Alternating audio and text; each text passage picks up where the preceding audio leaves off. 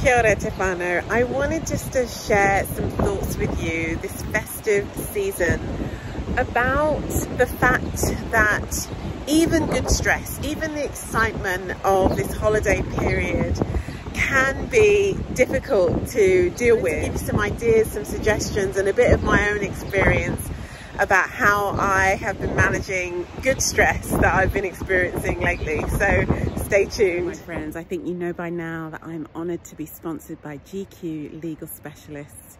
For all your legal needs in Aotearoa, New Zealand, consider GQ.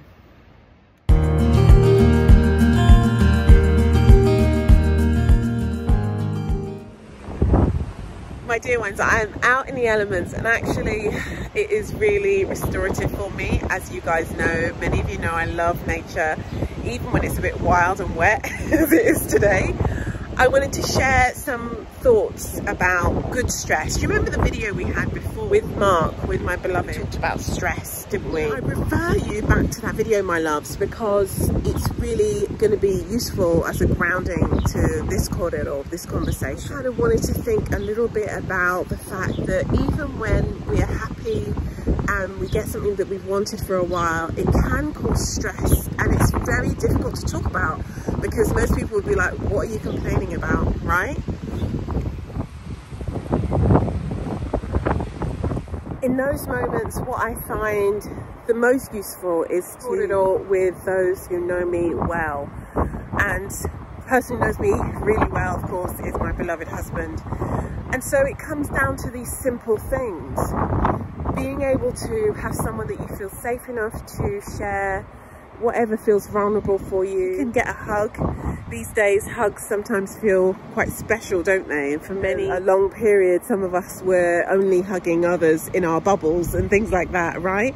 So if it's possible, then definitely see if you can get some physical comfort from someone safe, from someone who cares about you and loves you. And you know, don't be too perfectionistic about that because sometimes, you know, like if it's your family members, they might not understand all the intricacies, but if they have your best interests at heart, don't be too quick to dismiss the, the comfort and the love that they can give you. So thought I'd ask Marky a few questions, um, just following on from our kōrero.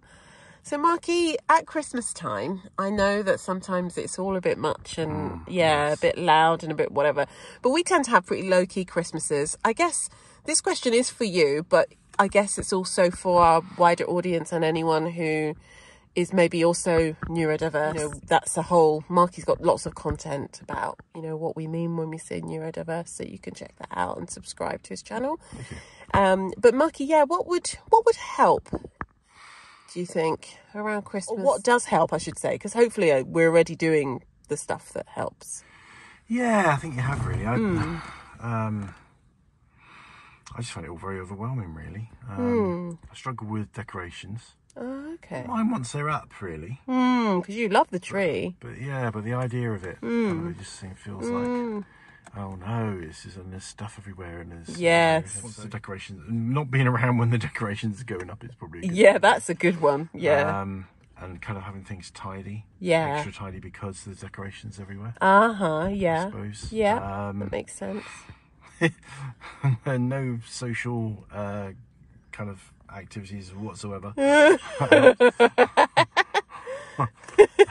Bah humbug we may we may have one or two this year just to yeah but yeah. generally we don't we're not out partying are we? Mm. we're not really party people. No. yeah we used to be though. It's funny isn't it? Yeah, before we met when we were young we both Alcohol of us had something to do with it. yeah absolutely absolutely. Yeah. and also the fact that we work so intensely with people yeah. We, it's you know, so different when you do the of, kind of work we do. Yeah nice food. I love the food aspect. they're Always the way. Um, yeah. I like um, I like having lots of kind of nibbly things that you can just throw together on a plate. Yeah. what Christmas right. is about for me, really. Yeah.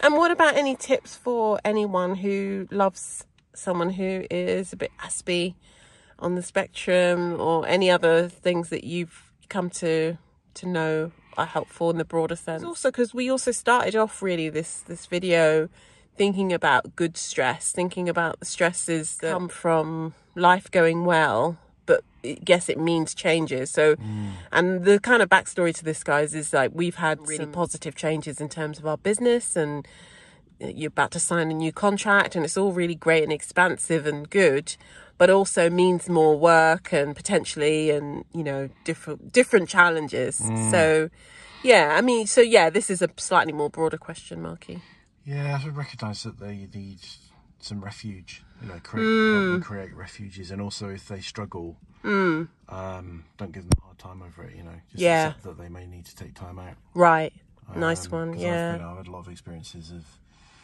uh, being really kind of persecuted for taking time out. Yeah, persecuting right. myself for taking time out. Yes, it, yeah, right. Why. Yeah, absolutely. Um, so important. So yeah, that's important. I'd say don't have anyone to stay. Um, mm. Don't stay at anyone else's house. uh, don't have Christmas dinner with anyone apart from your very nearest and dearest. Mm. And don't have anyone to Christmas dinner that's not your nearest you know part of your nearest yeah, and dearest. that would be that would be the dream really for a lot of people. I know that is not it's not doesn't even seem like a doable thing for a lot of people. They end up having Christmas dinner or like Thanksgiving mm. in the mm. States.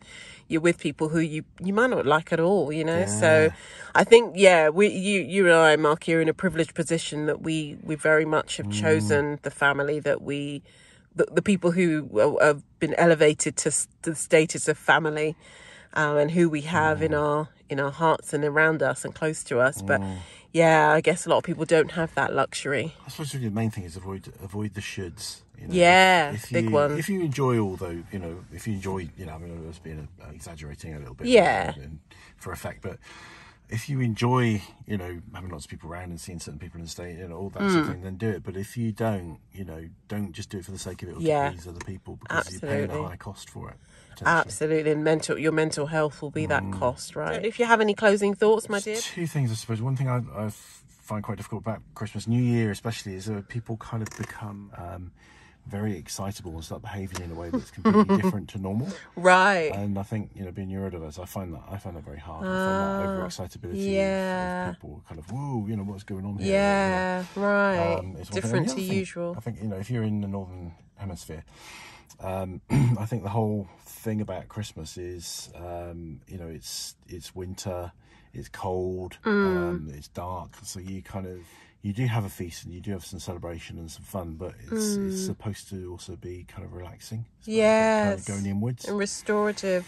Yeah. Mm. So uh, whereas everyone's like, "Oh, Christmas, we've got to do this, we've got to do yeah, that." Yeah, absolutely. Talk about missing the point. Yeah, people mm. want to sell us things, so it's buy, buy, buy. And then you go to the mm. shops where it's all crowded and it's yep. all crazy. And yeah, I mean, eBay was a great gift, I think, for a lot of um, yeah neurodiverse people. Absolutely. You know, Amazon, or, you know, on, online, online shopping. You don't have to mm-hmm. go into crazy shopping places full of crazy people. Mm. And so, but yeah, be selfish really because mm. you need to. Mm. If you're neurodiverse, you need to take care of yourself. Yeah. You know, um, there are certain things that you need. You know. Definitely. And neurotypical people around you might, you know, just have to um, accept that.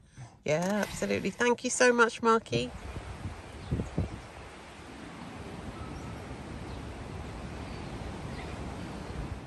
Christmas!